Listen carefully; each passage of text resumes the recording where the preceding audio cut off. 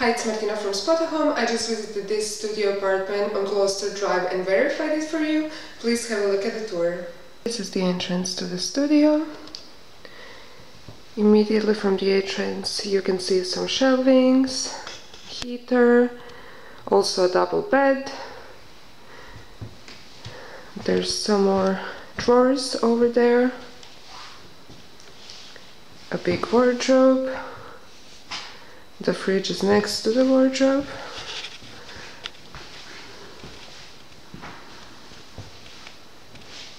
It's a completely open plan studio.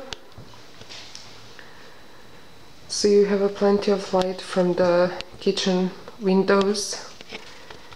There's a kitchen over here.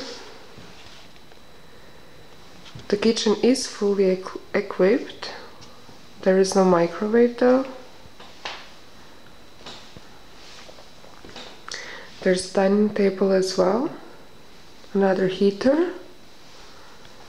Some storage space again. And there's the entrance to the shared garden.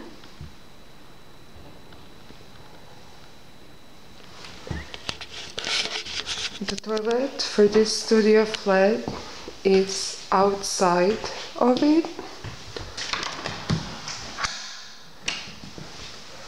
It's just in a hallway to your right. So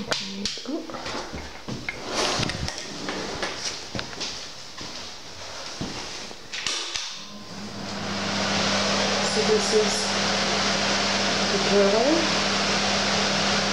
It's a big bathtub.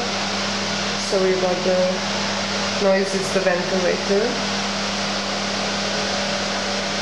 Yep. And from the entrance, the toilet is to our left, and then we go into the studio.